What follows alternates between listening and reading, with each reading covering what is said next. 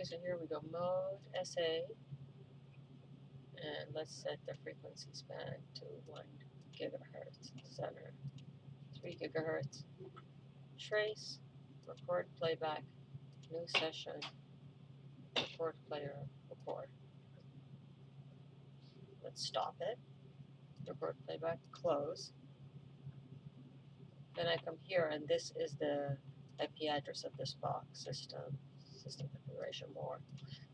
This is 178 and this is 178 here. So then I say show file.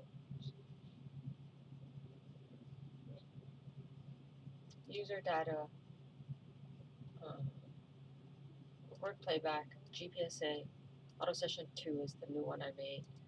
And I say convert it back to CSV. And you can see it starts kind of playing it back. It just it has to just open it up to really do that process. And it should convert it in a minute.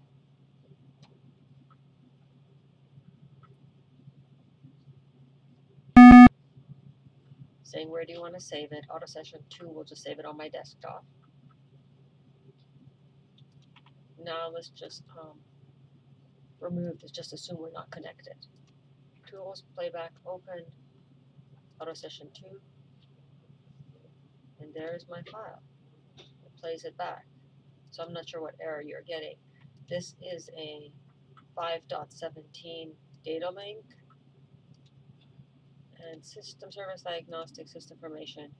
Oh, this is a beta code, but I think this functionality's been there for a while, so I don't think it makes any difference.